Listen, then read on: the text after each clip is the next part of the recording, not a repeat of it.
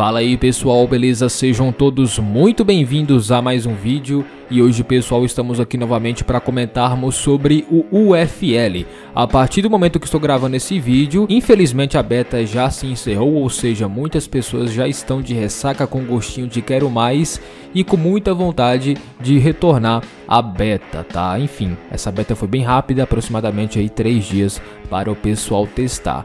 Mas enfim, esse vídeo aqui quero listar alguns problemas que eles deveriam consertar. Infelizmente, eu não tive a oportunidade de jogar, então alguns tópicos aqui eu não vou abordar, como por exemplo a marcação. Fica muito difícil de jogar muitas coisas quando você não joga. Ah, mas por que você não jogou? Porque eu não tenho console. Felizmente eles entraram em, co em, contato comigo, né? Ofereceram um acesso antecipado, mas eu não tenho console de nova geração aqui na minha casa, infelizmente, tá? Mas é o que é, pude observar vários vídeos e várias lives e streams aí na Twitch, no YouTube também, então quero demonstrar aqui a minha opinião.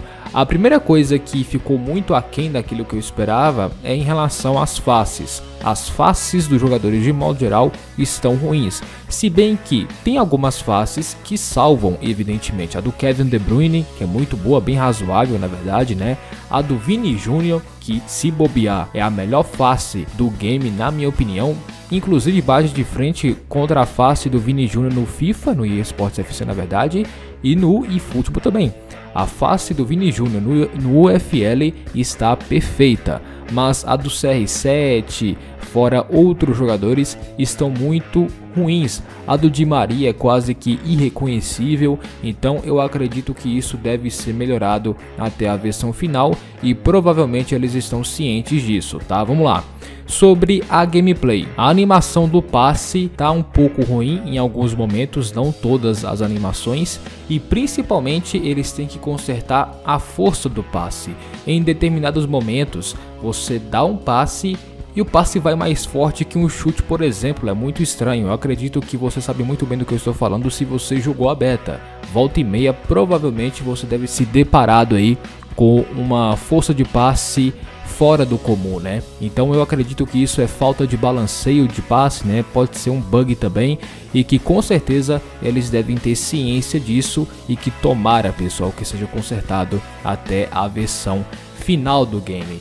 E também pode parecer estranho esse meu comentário, mas em determinados momentos da gameplay o jogador dá um passe meio, não vou falar fora do padrão, né, mas muito estranho, né? Parece um passe de FIFA, né, em pró da responsividade corta um pouco a animação ali, ele dá um passe com o pé investido, enfim, é muito difícil de explicar, tá? Mas o passe de modo geral tem que ser um pouco ajustado, tá? Sobre os goleiros, tem muitas boas animações dos goleiros de modo geral, mas em determinados momentos eles pegam algumas bolas apelonas, né? Os goleiros ainda estão desajustados, digamos assim, tem que ser ajustado também essa parte dos goleiros se não me engano, em algum vídeo que eles postaram há muito tempo atrás, eles falaram especificamente sobre os goleiros e eles disseram que é muito difícil de programar. Deu para perceber, porque ainda não está 100% ajustado, né?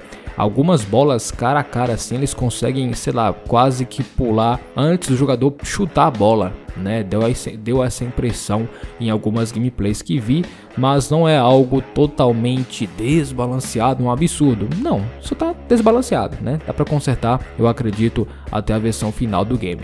Sobre animações ainda, eu acredito que eles têm que adicionar muito mais animações em um jogo de futebol, né? Porque, enfim, jogo de futebol de modo geral tem que ter muitas animações, isso é o básico, né? Porque jogo de futebol tem várias variações de jogadas e etc.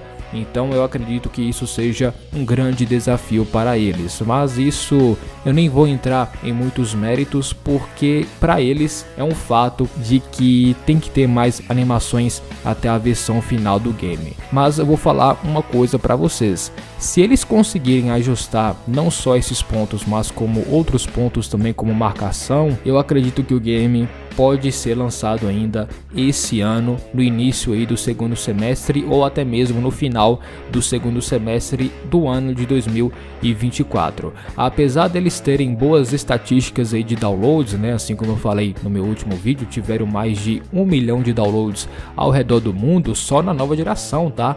Então, apesar de tudo isso, apesar das coisas estarem dando certo, eu acredito que eles devam estar com os pés no chão ainda e devem ajustar cada vez mais o game para um eventual lançamento ainda no ano de 2024. Mas comente aqui embaixo, pessoal, os seus pontos negativos e os pontos positivos que a beta do FL trouxe para uma nova comunidade de futebol. Enfim, comente aqui embaixo nos comentários. No mais é isso, agradeço a todos e vejo vocês em uma próxima oportunidade, hein?